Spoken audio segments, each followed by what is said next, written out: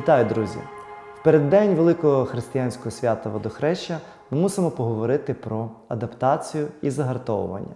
Дуже багато наших краян планують пірнати в ополонку, відвідувати водойми, а також відсвяткувати це велике християнське свято якимось контактами з водою. Якщо бути серйозним, то я як лікар, як медик, я завжди проти таких стресових ситуацій для вашого організму. Особливо, якщо ви до цього не готувалися із вересня або серпня місяця. Отже, як би було добре, якби ви готувалися? Було би добре, якби ви влітку почали адаптацію до холодної води шляхом зниження температури вашого душу, коли ви приймаєте баню або коли ви йдете в душ, знижуючи температуру води, якою ви миєтеся. Таким чином, ви поступово при, прилаштували би вашу шкіру, ваш організм, навчили би ваші судини правильно реагувати на знижену температуру. У більшості випадків, звісно, що цього ніхто не робитиме. Однак ви повинні розуміти, що є певні категорії людей, яким пірнати в ополонку без підготовки вкрай небезпечно.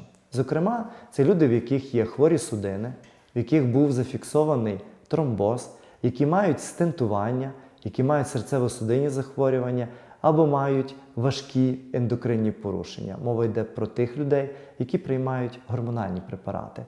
Також до тих людей хотів би звернутися, які хворіють на хозел, на бронхіальну астму, на бронхоекзотичну хворобу. Я вас дуже прошу, не робіть таких стресів для вашого організму.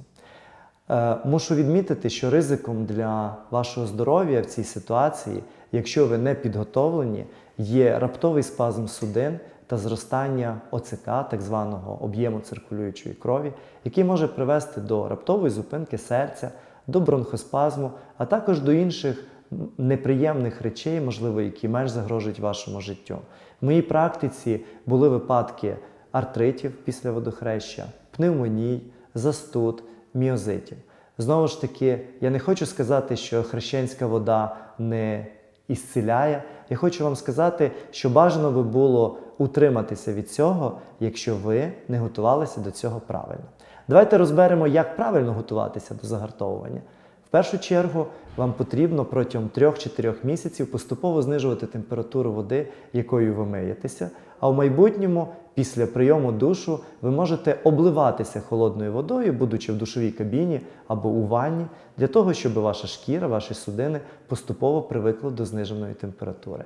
Вам також потрібно врахувати зміну вашого харчового раціону, який буде сприяти адаптивним можливостям організму. Зокрема, ваша їжа повинна бути біологічно цінною, ви повинні споживати багато есенціальних фосфоліпідів, повинні споживати багато добрих жирів та білків. Простими словами, ви повинні часто вживати морську рибу яка багата на фосфор та йод. Ви повинні споживати оливкову олію, а також інші види рослинних олій, які укріплюють ваші судини та борються з поганим холестерином та атеросклерозом.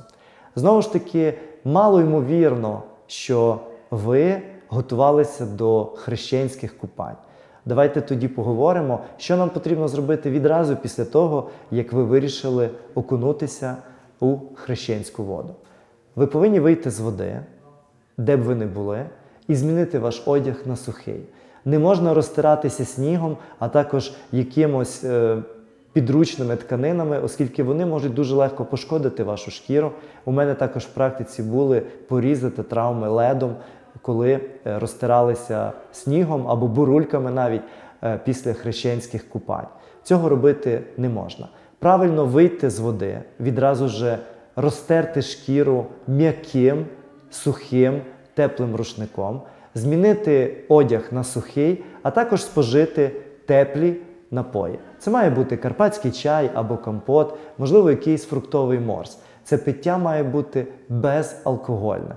Будь ласка, не вживайте алкоголь біля ополонки. Не можна споживати алкогольні напої ні перед хрещенським купанням, ні після нього. Все ж таки, безпека і ваше здоров'я є на вагу золота. Це є в першу чергу. Хотів би також застерегти вас від того, що після того, як ви окунулися у е, ополонку, вам необхідно, щоб поряд з вами хтось був. Не робіть це, будь ласка, ніколи самостійно.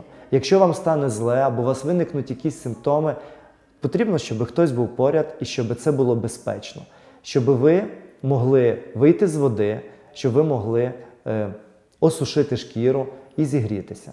Будь ласка, не переохолоджуйтеся, адже переохолодження може викликати серогенеративний артрит, може викликати реактивний артрит, це запалення суглобу, або запалення м'язів, як на ногах, так і на руках. У моїй практиці знову ж таки були випадки таких ситуацій після водохреща. Наостанок хотів би сказати, що велику силу має саме віра. Якщо ви вірите в те, що ця вода принесе вам здоров'я, якщо ви вірите в Бога, якщо ви вірите в те, що це все буде на користь, я впевнений, що так і буде. Дотримайтеся, будь ласка, коротеньких медичних рекомендацій доктора Петрова для того, щоб ви зберегли своє здоров'я. Якщо раптом ви відчули якесь нездужання після того, як ви окунулися в ополонку, вам необхідно звернутися до свого доктора. Ви можете виправити будь-який симптом або застерегти застудне захворювання завчасно. Будьте в безпеці, будьте обережні, а також пропоную готуватися до загартовування завчасно. Бережіть себе, бережіть своє здоров'я.